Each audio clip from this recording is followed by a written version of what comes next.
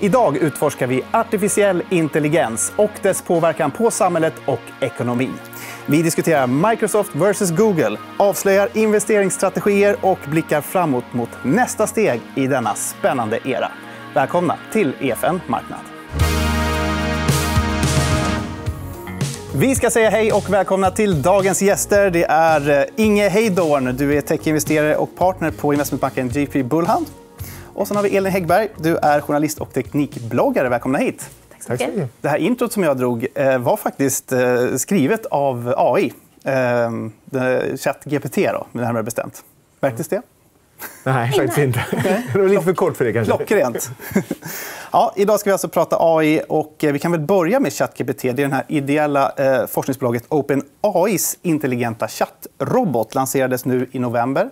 Eh, och sen eh, dess så har väl människor både förundrats och förfasats över liksom vad artificiell intelligens eh, kan komma att göra nu när det verkar komma här på allvar. Ehm, Elin, vad är det egentligen som är så revolutionerande med AI-tekniken?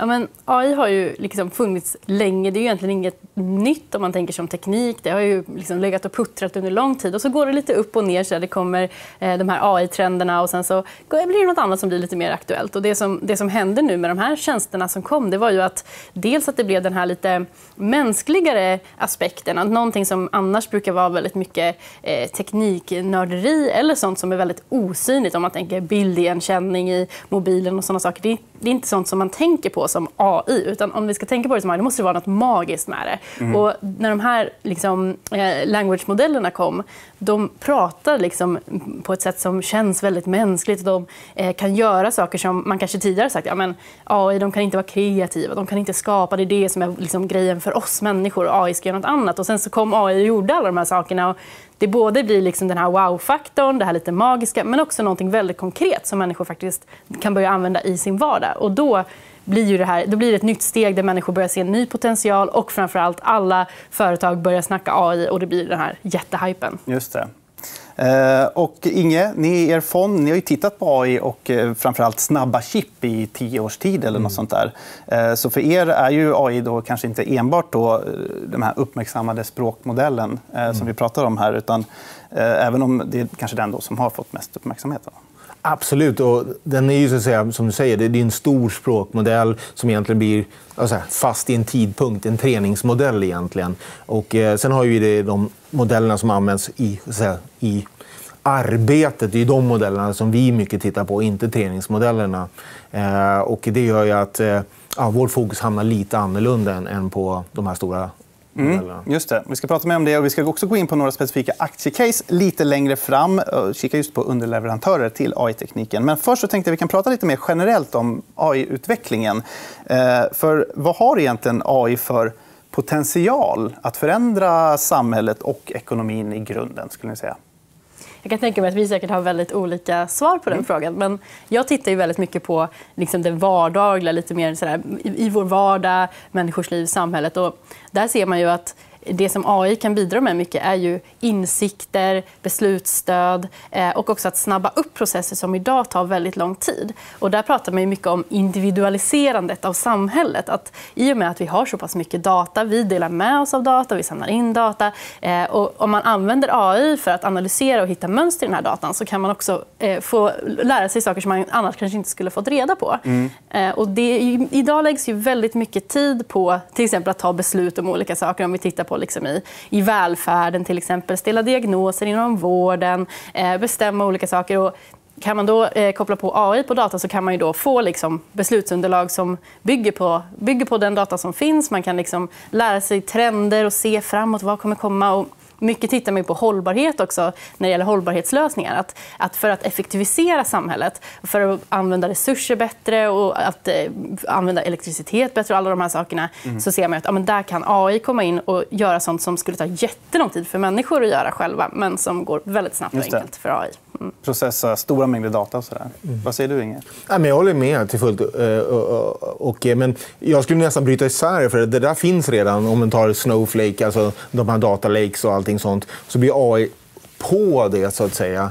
Så att, eh, för mig, jag tittar mycket mer på företagssidan och tajmingen är ju perfekt med inflation och allt det här. Och du behöver då bli effektivare i din rörelse. Och, ja, AI kommer ju ersätta massor med handjobb som gjorts av människor tidigare. Mm. Så att det, är en perfekt timing på det sättet också att komma ut med den här eh, ja, AI-hypen just nu. Mm.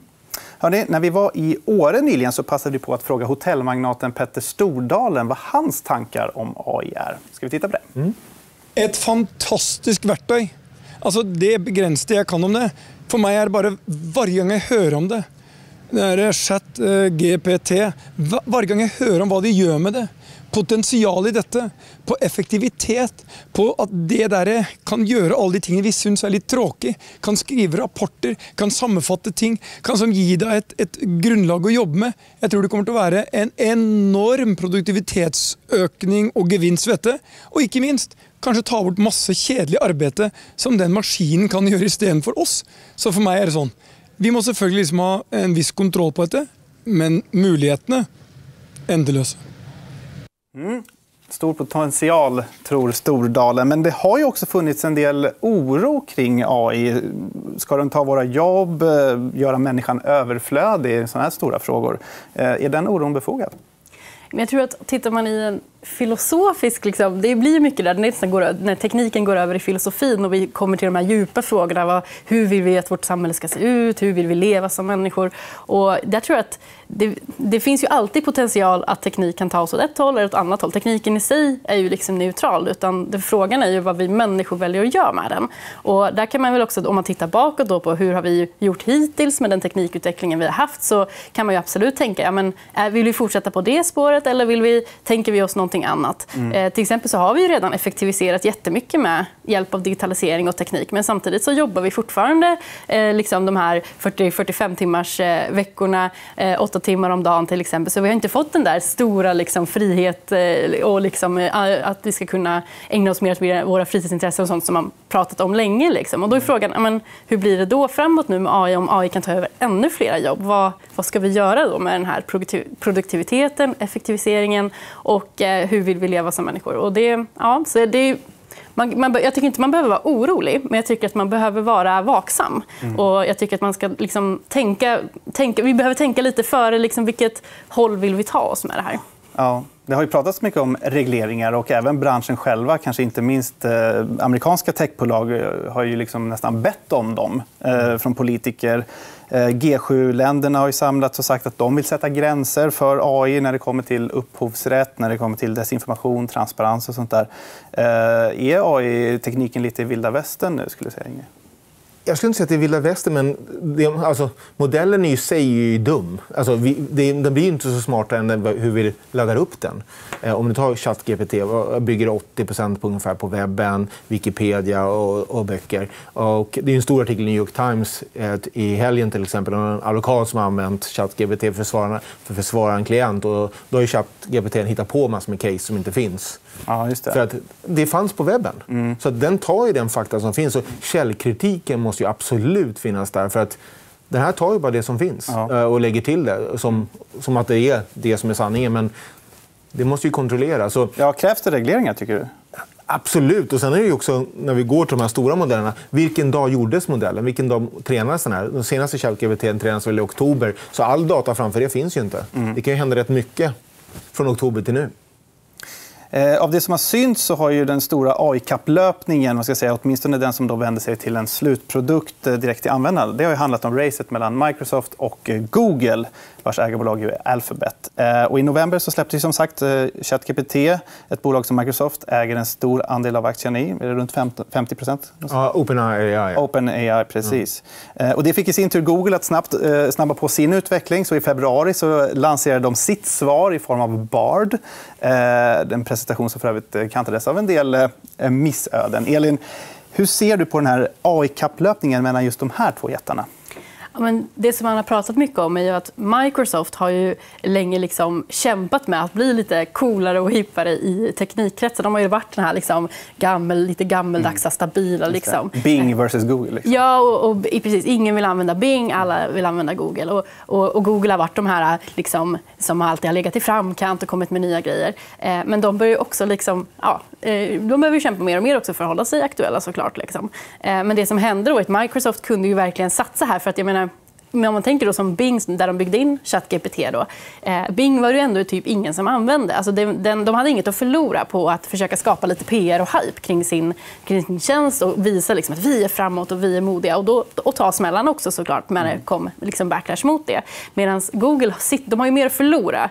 Eh, och de sitter ju på liksom den positionen de gör när det kommer till just sök. Eh, och då förstår man också att man behöver kanske vara lite mer ansvarsfull, ta det lite försiktigt. För de har, ja, de har ju mer att förlora på att det går fel helt mm. enkelt. Samtidigt är de, de har ju varit pionjärer inom AI länge och de har ju haft, byggt massa AI-tjänster. De har ju liksom forskat på det som är inbyggt i eh, GPT-tekniken och så vidare. Så att det är inte som att de inte kan AI. Men eh, de, var väl inte, de kände sig väl inte helt redo här och nu har de liksom skyndat sig lite grann och försöka slänga fram att men vi har också massa AI på gång och det kommer för att nu är det det folket vill ha. kan man väl säga. Ja, just det. Eh, vi kan titta på en kursgraf för Microsoft här. Um, vad säger du om den, Inge? Vi äger ju Microsoft och gillar ju Microsoft. Och det första lyftet här är ju, det var ju framför allt eh, ja, runt det här och eh, släppet av ChatGPT. Eh, och sen har du del två-lyftet beror ju mer på uh, Azure. Att de är ju de enda som lämnar en guidance för sin cloudrörelse. Mm. Eh, medan Google och Amazon avstod. Och Amazon var ju rätt, ja, rätt svag guidance också. Så att det ser ut som Microsoft har fått lite momentum i övriga business också på grund av det här man har gjort med OpenAI. Då. Ja. Så att, eh, så att, ja, vi gillar ju Microsoft och tycker att det här ser väldigt intressant ut. Mm. Eh, vi kan ju ta och titta på en kursgraf över Alphabet också. Eh, hur det ser ut där. Det är också upp där på slutet. Vad, vad tänker du, Inge?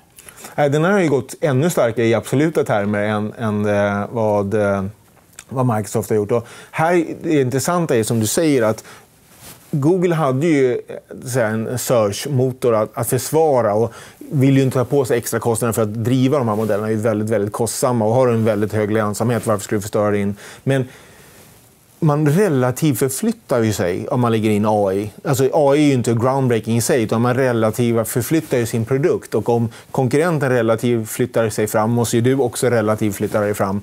Men det intressanta här är ju att man tar då i nästa steg de som ligger bakom. och De måste ju också relativt förflytta sig. Mm. Och de kanske inte har samma kassaflöde och samma ja, så att säga, alltså, pengar att kunna investera. Så det blir ju ännu mer de stora vinner här lite grann på kort sikt eftersom de har ju haft pengarna att plöja ner det här. Ja, just det. Och, eh, som du nämnde, ChatGPT är redan implementerat i Bing, då, eh, Microsofts söktjänst. Eh, vad är status på Googles Bard just nu?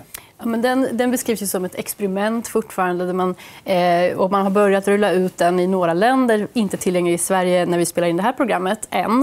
Eh, men det är ju mycket betatestande. Man vill testa och se vad som händer. Man vill försöka upptäcka eventuella knasigheter eh, så tidigt som möjligt för att undvika att det blir mycket eh, backlash eller eh, problem som man behöver dela med sen. Och där får man tänka också att Google har ju en otrolig söktrafik. Alltså, de har ju väldigt mycket kunder som använder deras tjänster. Mm.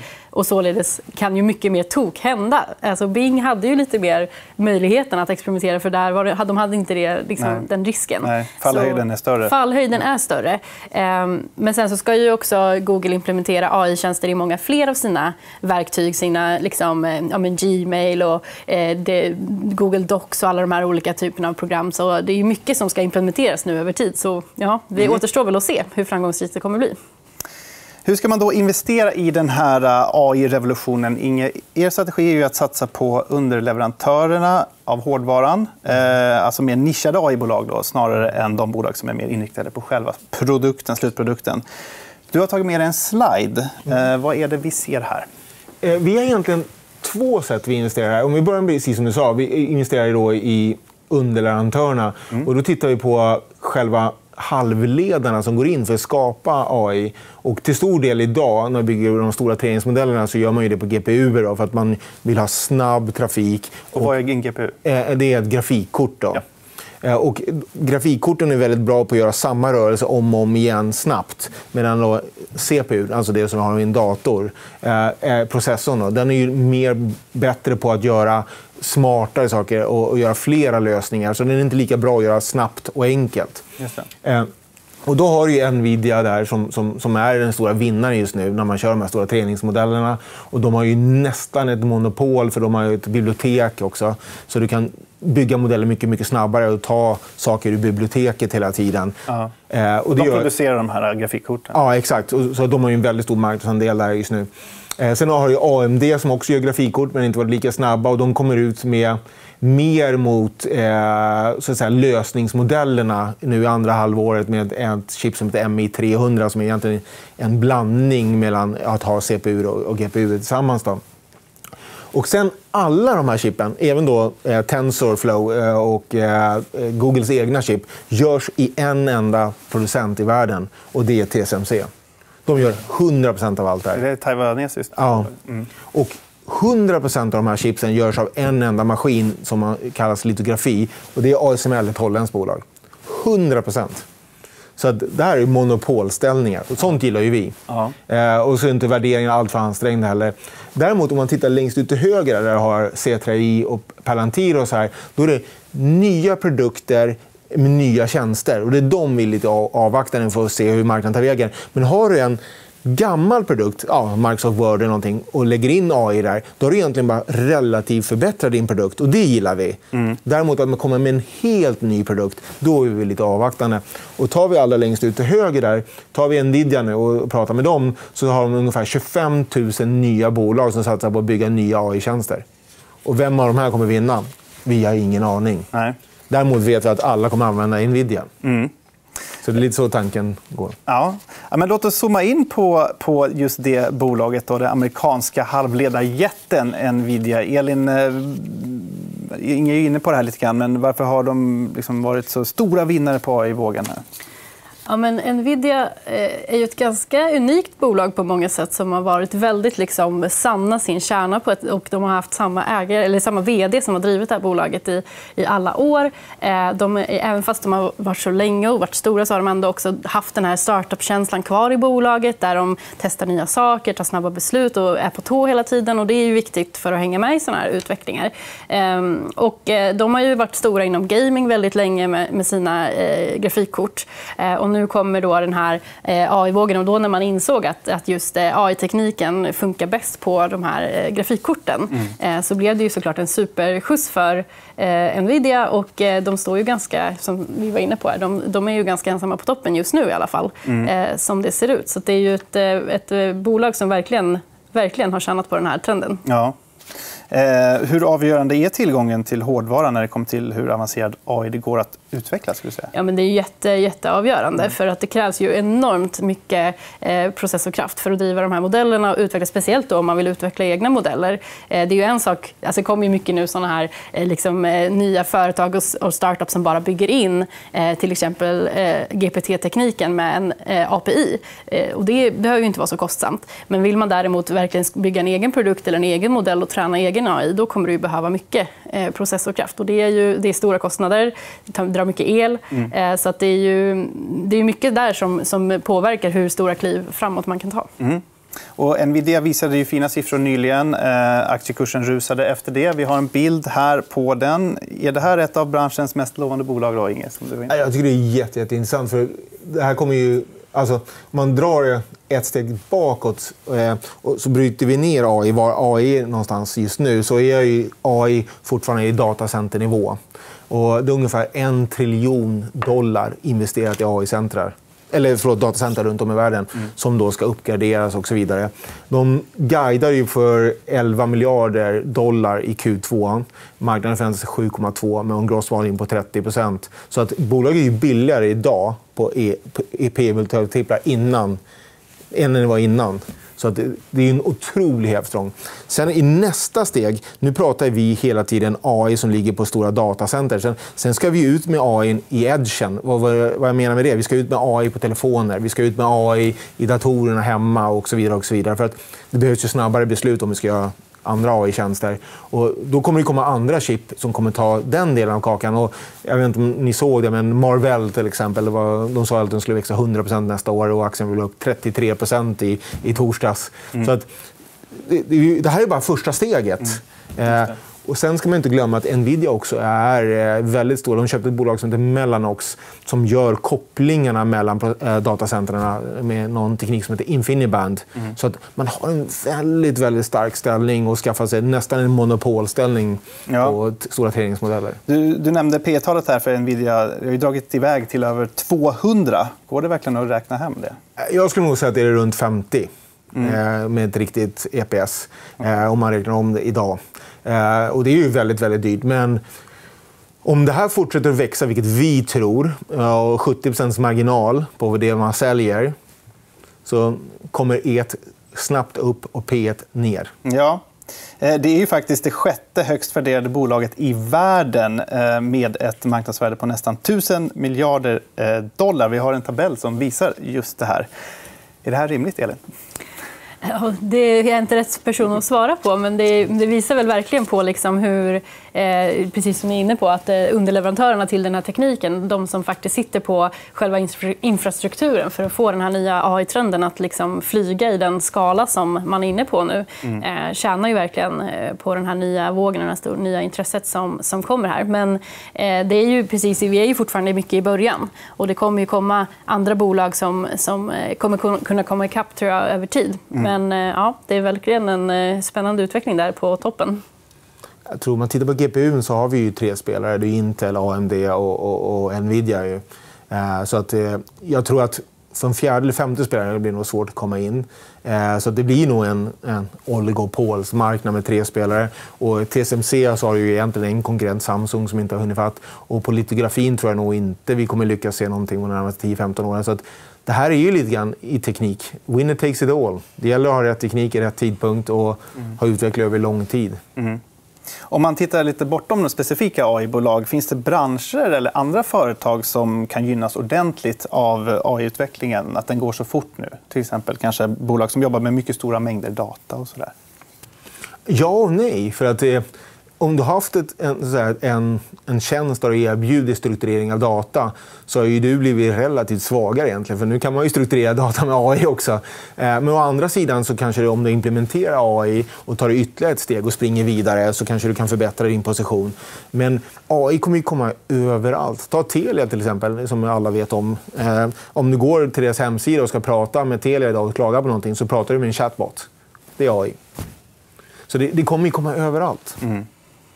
Och om man tittar på ännu längre sikt, då, Elin, och antar att AI kanske tar över många sysslor, eh, att då människor får mer fritid, som du var inne på lite här förut.